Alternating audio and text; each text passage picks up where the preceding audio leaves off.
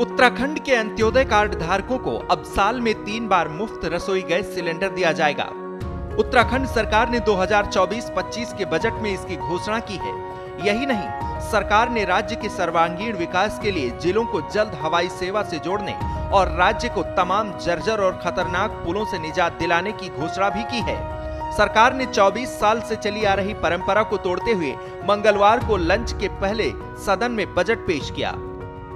वित्त मंत्री प्रेमचंद्र अग्रवाल ने बजट पेश करते हुए कहा कि उत्तराखंड यूसीसी पारित करने वाला देश का पहला राज्य बन गया है। अब जानिए, धामी सरकार के बजट में प्रदेश की जनता को क्या क्या मिला है। सभी जिलों में हवाई संपर्क को मज़बूत किया जाएगा। जर्जर और असुरक्षित पुलों को राज्य से छुटकारा दिलाया जाएगा। सरकारी विद्यालयों में आवश्यक फर्नीचर उपलब्ध किए जाएँगे। सभी जिलों में स्वरोजगार केंद्रों को खोलने का ऐलान हुआ है। सभी जिलों के मुख्यालयों में स्टेडियम बनाए जाएँगे। उत्तराखंड के छात्रों के लिए सरकारी खर्च पर एजुकेशन टूर की योजना लाई गई है। उत्तराखंड को ड्रग्स फ्री बनाने पर ज़ोर दिया जाएगा।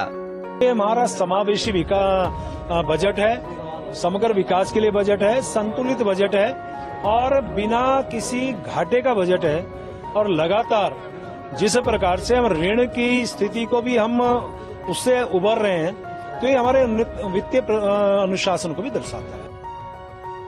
धामी सरकार ने अपने बजट में सरकार के विभिन्न विभागों के लिए बजट राशि भी बढ़ा दी है।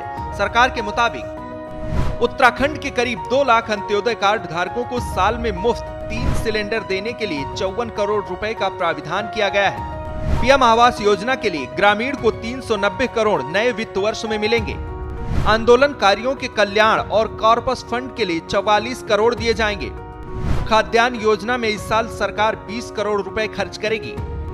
अल्पसंख्यकों की मुख्यमंत्री हुनर योजना के लिए पाँच दशमलव दो ज़ीरो करोड़ रुपए रखे गए हैं। प्रतिभावान खिलाड़ियों को छात्रवृत्ति के तहत 10 करोड़ की राशि आवंटित होगी। राष्ट्रीय खेलों के लिए 250 करोड़ रुपए की राशि राज्य सरकार देगी। खेलो इंडिया के लिए दो करोड़ रुपए इस साल रखे गए हैं। आरटीई के तहत चौरानवे हज़ार से ज़्यादा बच्चों को निशुल्क शिक्षा दी जाएगी।